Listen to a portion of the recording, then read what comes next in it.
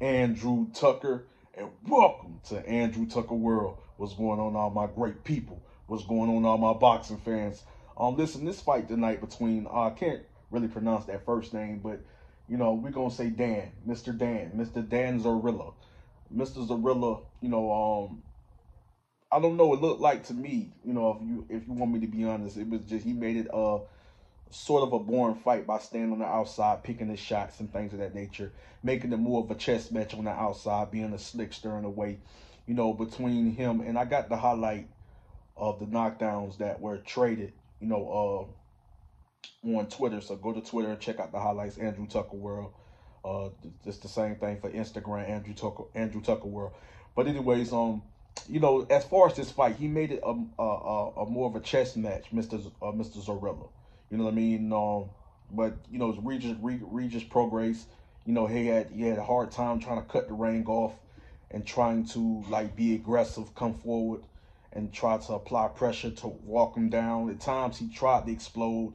He tried to uh, set him up, set uh, Mr. Zorrilla up with with with uh, some mean combinations and tried to explode explode on him and dominate when he felt he hurt him and knocked him down. I believe in that first, was it the second round? I think the second round or something like that. It could have either be the first. I think it was like the, probably the second round. And um, you know, you got to give it to you got to give it to Dan Zorrilla. Uh, I think he was just smart, and I think that uh, uh, Regis also had to respect his power. He knew that the guy had power, and he was a good counterpuncher. You know, and then and then his stance was just also like if you if you're not prepared for for his style or his stance, and, and then he had a fast jab. It was a perfectly timed jab, perfectly timed right hand. But it's just the, the it was just the timing of Zan Zorrilla. even though people may be saying, oh, well, the fight was born. The fight was born. He made it a born fight. He made it more of a chess match. And, and you know, Regis is not really that type of fighter that, that he's that type of fighter that look, look he's a more of a technical brawler he's a boxer puncher and he can box when he wants to box, get on his toes. I felt he should have got on his toes a lot more. He should have came, he should have rushed in with double jabs, triple jabs to up the left hand, to follow up with a right hook, then to um, hooks to the head, hooks to the body, left hand, left hands to the body, follow with right hooks to the head, come back with a left hook. I mean, it just, it just, he could have mixed up his attack a whole lot better, been a little smarter, you know, keeping his head off the center line, getting hit with them right hands, getting hit with them jabs, getting hit, getting hit with them left hooks and them right hooks. You know, you know, even uh body shots, but Regis did land a good body shot that got the attention of Mr. Dan You know what I'm saying? And then at the, at the same time, I just feel that he should had, you know, to really to get to really get to a fighter with this particular style, you're gonna have to use your jab a lot more and not just just you know these pity pat jabs and just throwing it, you know, you know, throwing it. I mean, you're not, you know, you can't just be stationary. You can't just plant your feet and throw your jabs. You got to be on your toes. You know what I'm saying? You got to be on your toes. You got to be on your toes when you're throwing the jabs. You got to work your way on the inside, double jab, triple jab, not just the single single jabs, you know, to set up the left hand. You know what I mean? You got to learn how to mix up your attack, go push forward. You know, to get on your toes when you're throwing these shots on the fly, throwing these counters and throwing the combinations on the fly on your toes. Being stationary, this guy was on his toes. This guy was moving as Mister as far as uh, Dan Zorrilla. He was on, he was moving, working the angles, countering, and he was being explosive at times. But yeah, he made it somewhat of a boring fight, but he made it a highly competitive chess match. And I think Regis, you know, threw it threw him off a little bit. You know what I mean? And I just think that, you know, he would have to prepare, you know, be, you know, go and work on some things and kind of perfect some things, you know what I'm saying, in the gym, you know, when they're dealing with these type of styles because what if you dealt what if you dealt with a Teofimo Lopez at 140? I don't know what going on with Tio. You know, I don't know if he gonna retire or not. You know, I, I know understand Tio's situation. I understand his I understand his stance on was as far as the business side of boxing.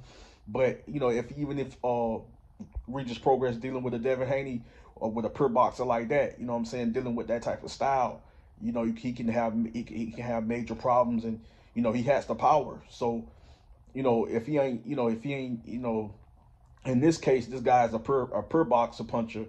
You know what I'm saying? Now, when I say per boxer and a puncher, because this guy has punching power. He's a big puncher.